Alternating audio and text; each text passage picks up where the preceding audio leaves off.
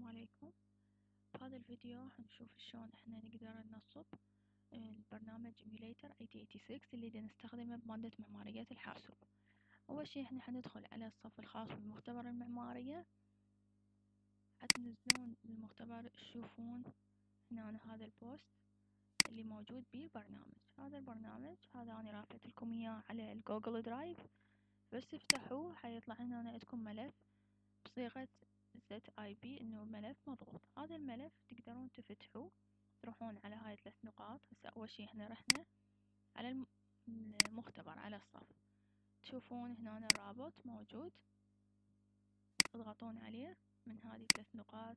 تفتحوه open in new window حتى يطلع لكم علامة ال download بهذا الشكل طلع لكم.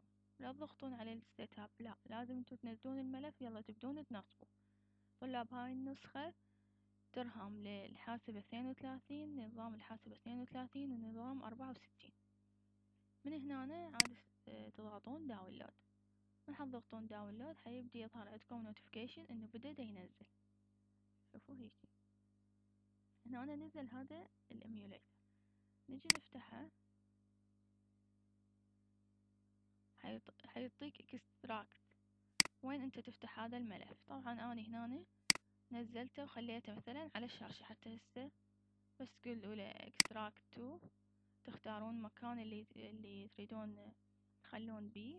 الملف مثلا أنا اختاريت desktop دست OK زين هاي عدنا.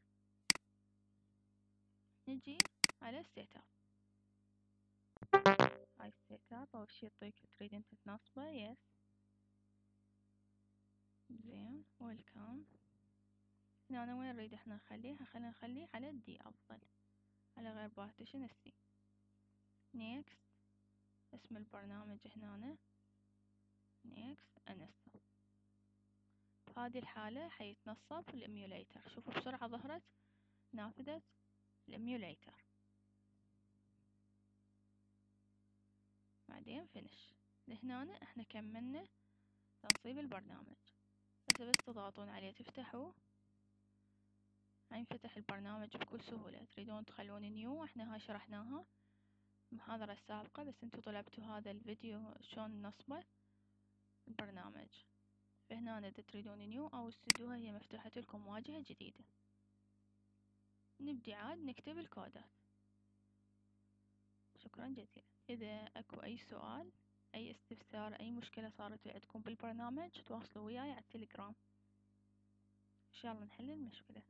لأن عندنا تطبيق هواية على هذا البرنامج.